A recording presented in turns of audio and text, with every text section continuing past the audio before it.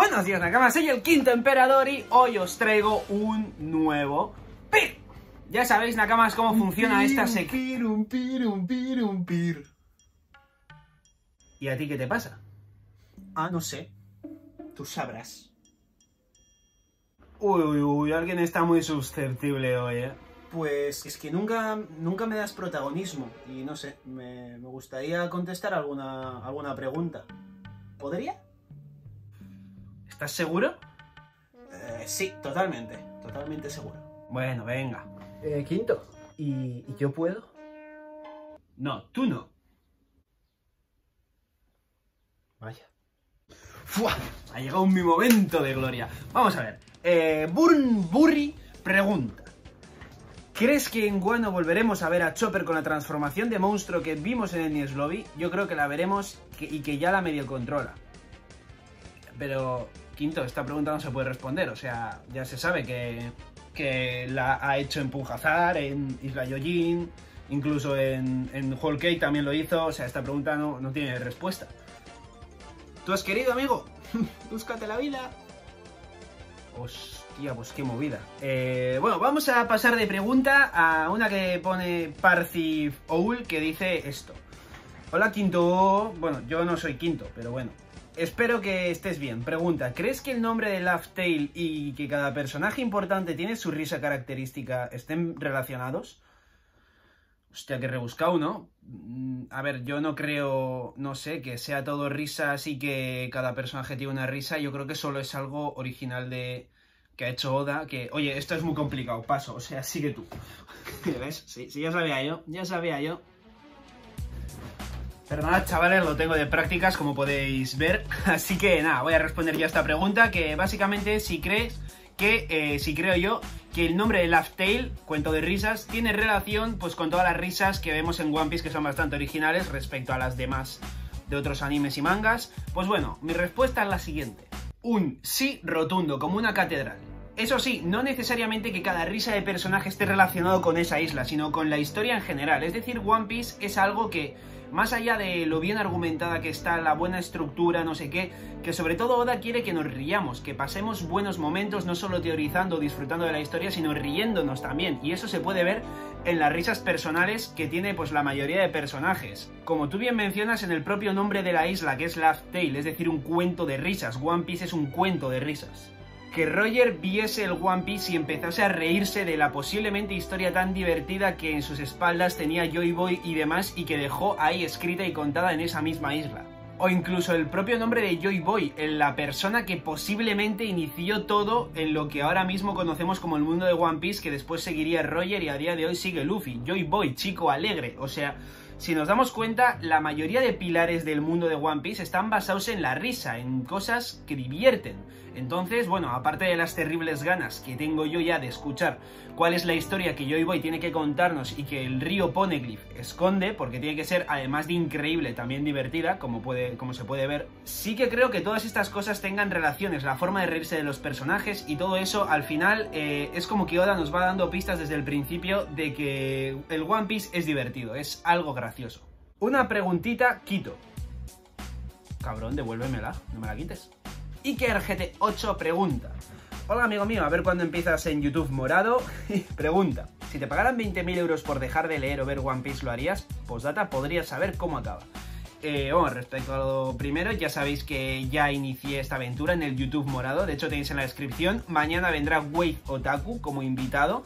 Así que seguidme, Nakamas, que, que va a estar interesante la cosa en ese directo y en todos los demás, cojones. Y respecto a si, si me dieran 20.000 euros, si dejaría de ver One Piece, pues realmente os voy a decir una cosa, y es que no, y no es por quedar bien, es porque, quiero decir, a mí One Piece me, me encanta, me produce mucho beneficio, ya tanto social como económico, como muchos tipos de beneficios. Y todo eso no se vería compensado, quitar todo eso, no se vería compensado por 20.000 euros. Es decir, me dices un millón de euros y lo siento mucho, pero probablemente sí que acabaría cambiándolo, porque coño, me estoy quitando una gran parte de mi vida y me jodería mucho, pero como dices en el postdata, podría saber cómo acaba, por lo menos, es decir, tendría, no me quedaría así como de nada, ¿sabes?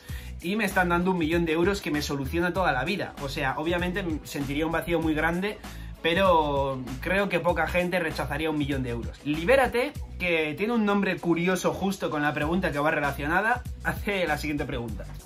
Tito Quinto, me encantan tus vídeos, no me los pierdo nunca. Muchas gracias, Nakama.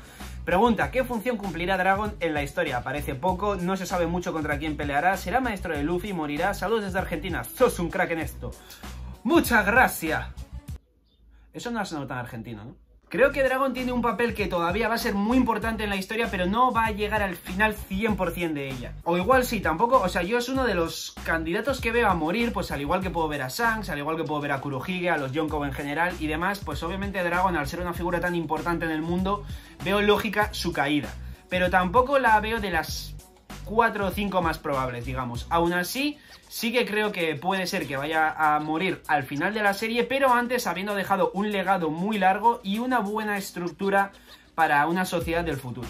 No creo que sea maestro de Luffy, no creo que enseñe ni que tenga nada nuevo que enseñar a Luffy. Luffy ya habrá avanzado muchísimo, de hecho ya ha avanzado, pero para cuando se encuentre con Dragon ya manejará de puta madre los hakis, tendrá unas formas muy buenas de la cuarta marcha, ya estará muy maduro, digamos, y no va a necesitar de Dragon. Eso sí, sí que va a ser un gran apoyo para lo que yo creo que será en la batalla final, donde es posiblemente en lugar de la muerte de Dragon. Aún así, como ya he mencionado, sí que creo que va a dejar unas buenas estructuras y que a pesar de la muerte, para mí, la Armada Revolucionaria van a ser un poco los que se van a encargar junto a Sworth a formar esa nueva marina y a crear un poco las nuevas bases del mundo donde no sé qué tipo de ideología ni aplicaciones políticas harán en el mundo, lo que está claro es que el totalitarismo del gobierno mundial se va a caer, los revolucionarios formarán parte de esa caída, pero no creo que luego ellos mismos se pongan a liderar el mundo, porque sería como totalmente lo mismo, pero con diferente bozal, ¿sabes? O sea, el mismo perro con diferente bozal. Además de que sería muy hipócrita por parte de los revolucionarios quitar a unos para ponerse ellos. Entonces sí que creo que optarán por unas formas más,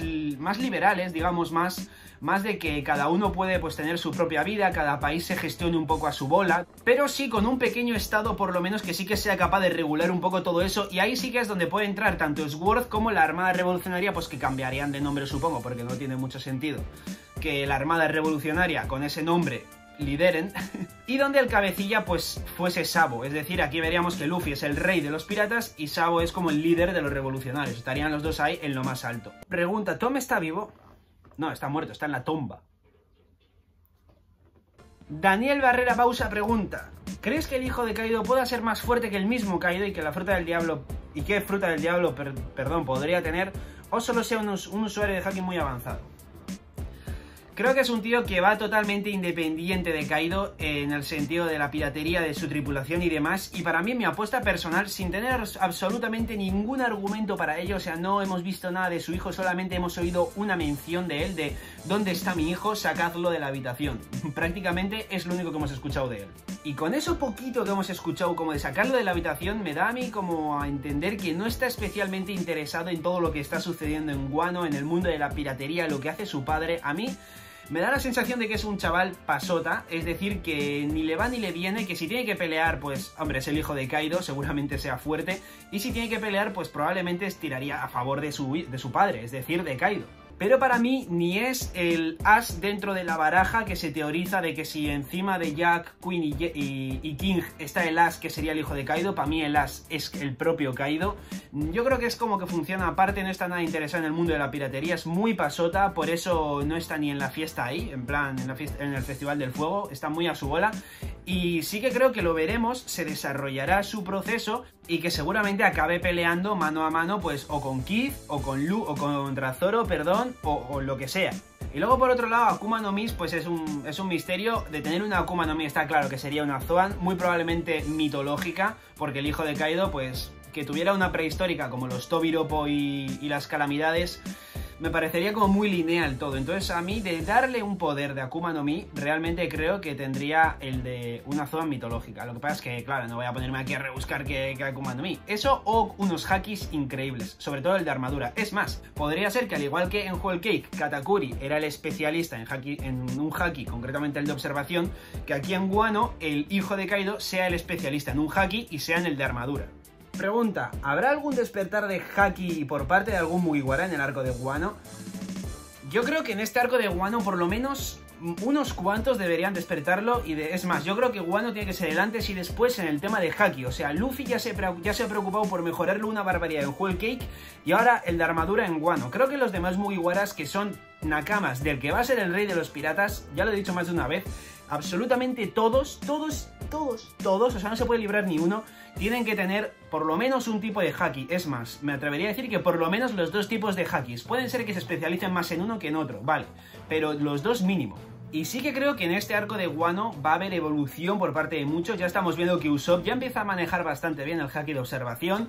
Puede ser que aprenda a manejar el de armadura, pero yo creo que gente como Brook, como Frankie, por ejemplo, deberían de mejorar el de armadura. Eh, Chopper también, un Monster Point de Chopper con, con haki de armadura podría ser algo muy bueno y muy interesante.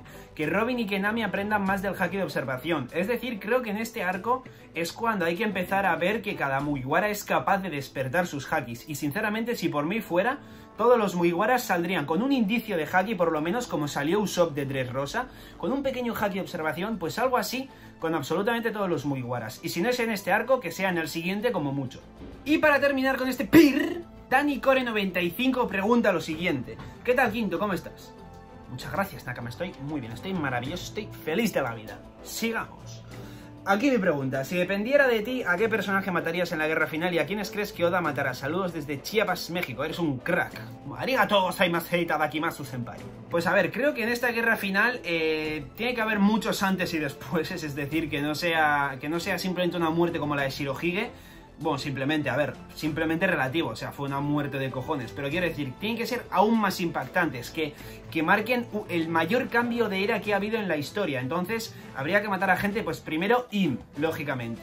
Bueno, gente antes de esta guerra ya habrá muerto, como probablemente Kurohige, tal vez Shanks, los Yonko en general, yo creo que ya estarán en el otro barrio antes de esta guerra. Pero está claro, hay que tener en cuenta que va a ser la guerra que va a determinar el futuro del mundo, un futuro que ya es el final de One Piece, entonces todo tiene que acabar arreglado y estructurado, con lo que la gente mala, o la por no mala tampoco, pero por lo menos la que gobierna el mundo, porque lo de bueno y malo es muy relativo y ya nos lo ha enseñado Oda en One Piece, que qué es el bien y qué es el mal, o sea, cada uno tiene sus justificaciones para argumentarlo, pero está claro que la estructura que hay ahora no va a aguantar a final de One Piece, entonces Im tiene que morir, seguramente los cinco del Gorosei también mueran, porque ojo, para mí el Gorosei no es malo tampoco, es decir, por ejemplo, cuando ordenaron destruir Ohara, se les vio muy jodidos dando la orden, es decir, eh, seguramente tengan algún pero y no sean malos del todo, y puede ser que sus muertes eh, nos abran mucho los ojos, incluso nos den pena ver cómo mueren y que realmente estaban actuando así por Im.